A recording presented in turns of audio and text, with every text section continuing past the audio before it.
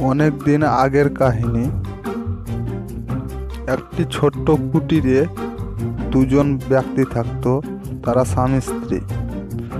হঠাৎ বুড়ো একদিন বলে, তুমি একদিন পিঠে বানাও না, আমার খুব পিঠে খেতে খুব ইচ্ছে করে। কিন্তু বুড়ি বলে, পিঠে তৈরি করতে গেলে তো অনেক কিছু লাগবে।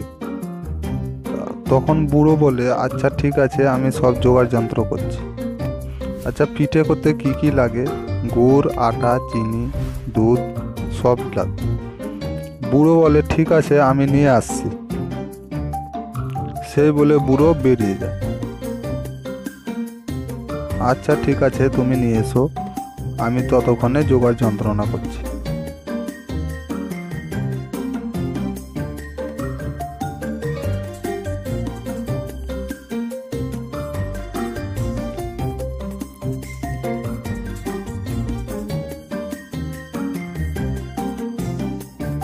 বুড়ো বলে, ঠিক আছে, আমি নিয়ে আসছি। তুমি থাকো, তুমি আসছি। এই বলে বুড়ো বাইরে, বাড়ি থেকে বাইরে বেরিয়ে গেল রাস্তায় যেতে যেতে হঠাৎ এক- একজন লোক যাচ্ছে, তার মাথায় কিছু আছে। সে বুড়ো জিজ্ঞাসা করে আচ্ছা ভাই, আপনার কাছে কি আছে? সে বলে, আমার কাছে তো গুড় আছে। সে বুড়ো বলে আচ্ছা ভাই, তুমি আমাকে গুড় দিবে না? তখন ওই ব্যক্তি বলে আচ্ছা ঠিক আছে, আপনি গুড়টা নিয়ে এই বলে গুড়ের হাঁড়িটা সেই বুড়োকে দিয়ে চলে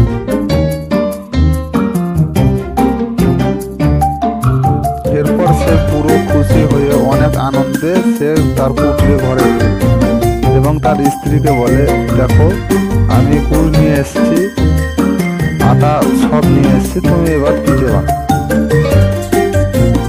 এই বলে বুড়ো খুব আনন্দ পেল। আমি বানাচ্ছি তুমি থাকো